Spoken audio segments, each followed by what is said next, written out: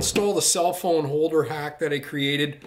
But in order to do that, we are gonna first install the USB outlet. And there's a couple ways to do it. One is you could buy a dual outlet from Amazon like this. This was actually 18 bucks, but it comes with just a couple of lead wires. You'd still need to hack it into your uh, your your 12 volt system on the Skidoo. And uh, but the nice thing is for 18 bucks, it has a three volt, three amp charging point and a 2.4 amp charging point. So it doesn't matter what phone you're using, this sucker will charge it. The only caveat is it doesn't fit in the hole, so you're gonna have to hog out the hole on the Skidoo. Um, the other option is to go with the Skidoo power outlet kit, and I'll put a link to both in the description. But you can see, I, when I bought this one, I thought, it's identical. Look at that. And uh, the only thing is, this is this is a bigger diameter, so it doesn't fit in the hole where this one will slide right in. It's pretty darn close.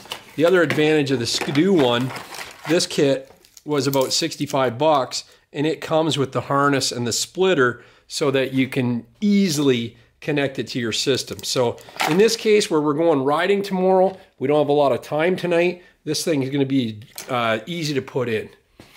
And if I want to change it to put this 3 amp one in, the wiring's all there. I just have to swap out this, this fixture right here and we're good to go.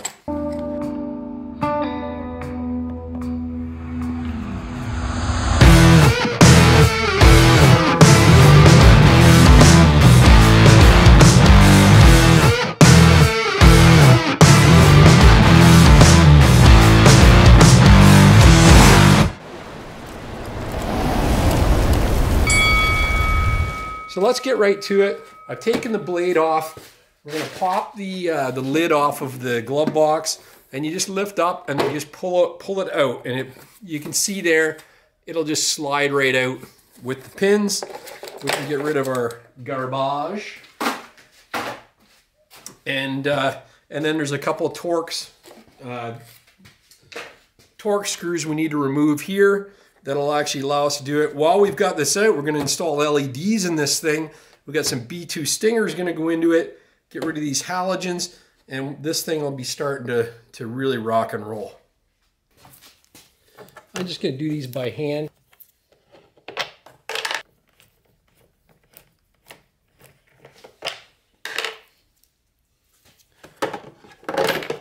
This will pivot up, out like that and then you can lift the glove box right out. We're gonna actually, we have to take the hood off, so we're gonna actually unclip this, pull that apart. There's another connector in here. Slide out, then that'll come off. So to take the hood off, there's two screws here, and then there's two up by the handlebars. So it's the ones with the washers here. And I need a Phillips screwdriver. There's probably one in the tool bag there because we gotta we gotta loosen off the air box. Tool. Yeah. I got my toolbox in my car if you need anything. It looks. So then there's two two uh, Torx screws here that have to come out.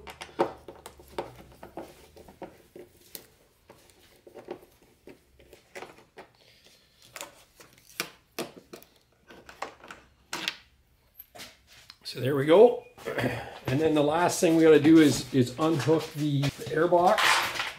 Just loosen that air box clamp off. And then the last two to remove the hood are right here.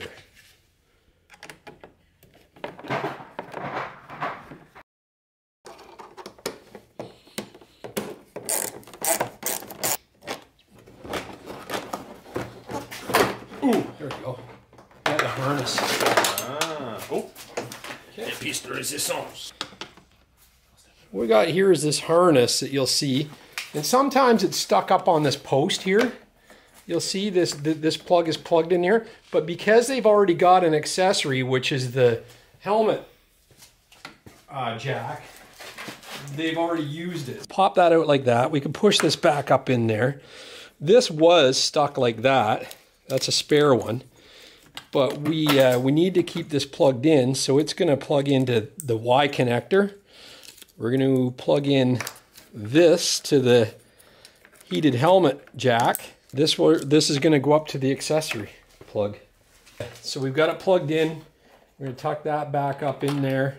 We can zip tie it, and then that goes like that, so we can we can put the hood back on. And then this this harness will plug in, and then these these wires will go to our our USB accessory. So let's put the hood back on. The gauge. Everything. I think that's yeah. That's the whole harness. That's the whole harness. You're good. This here. We'll go there. Yep. Okay, go on. My lovely assistant is going to push the Okay. back in, Let's fire that on. and then we're good. Yep. Oh, this didn't go in. Oh, what the heck? There's little tabs here. On the Gen 5, you can actually look in and see that you've actually slid it into place. There, they're in. Is that right? Yep, they're in now. You can see because that doesn't flip out. Watch it, Ricky. Ricky! Tripping over my shopping carts. So we just got to put in the six uh, six bolts again. and We're good to go.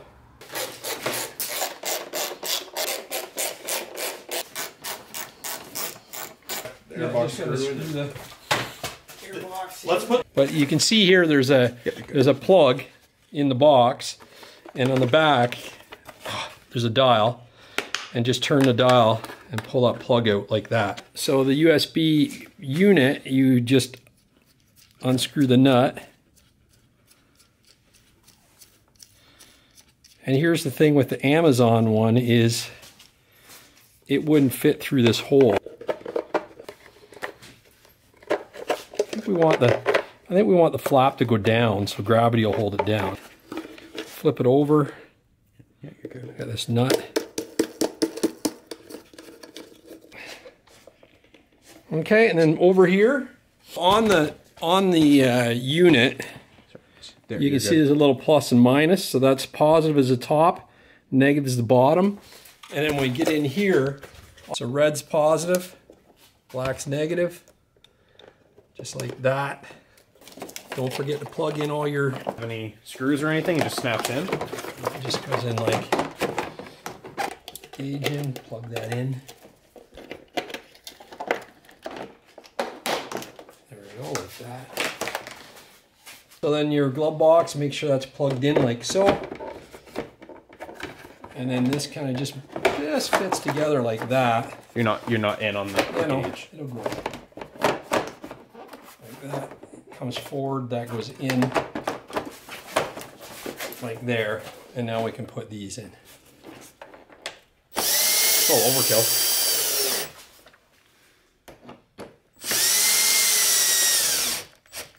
That is the hard part for sure. But what we're gonna do is we're gonna put this glove box see cover back on. it. on. Oh. But again, like the last time, I found it best to actually rest it against a sled so that it, it stops it from vibrating around. So all we gotta do is mark that with my pencil. So once we figure out where we want this to go, like that, we'll just give her a mark with the pencil.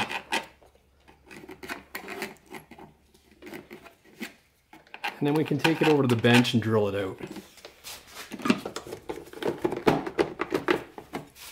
So we set that on there. We're going to drill two holes.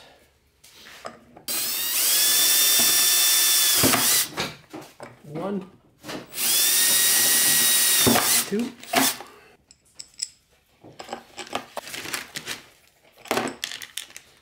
On the back side, we'll put this like that. We're going to put that on the inside.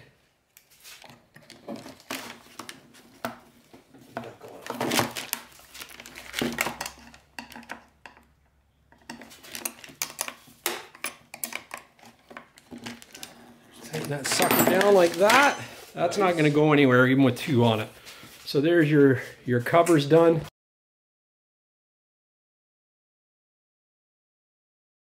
Now we have the ball installed. If you watch the uh, the last video, which I'll put a link in the description, I showed you how to make the actual phone bag and uh, simple parts off of Amazon. They're very inexpensive, and you can order this from MotoJungle.ca.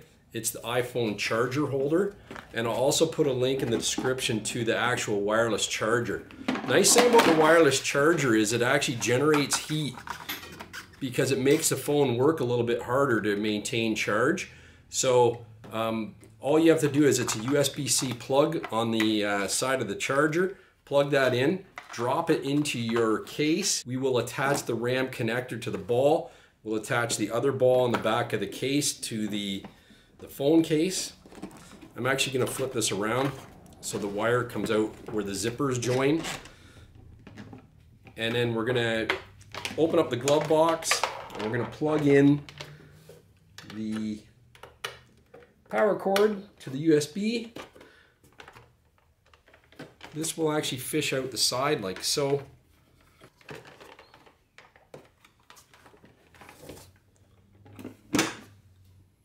You can open up the glove box even with it on, see that? You can run Polaris Ride Command if you want. You can run BRP Go. Run whatever app you want. Throw a GPS in there if you like and, and just run a regular GPS. Cripe, you could run Google Maps or Waze, um, anything you want. The nice thing about this is unlike the Gen 5 sitting back there where you actually have to plug the phone into the charger, in this case here you don't.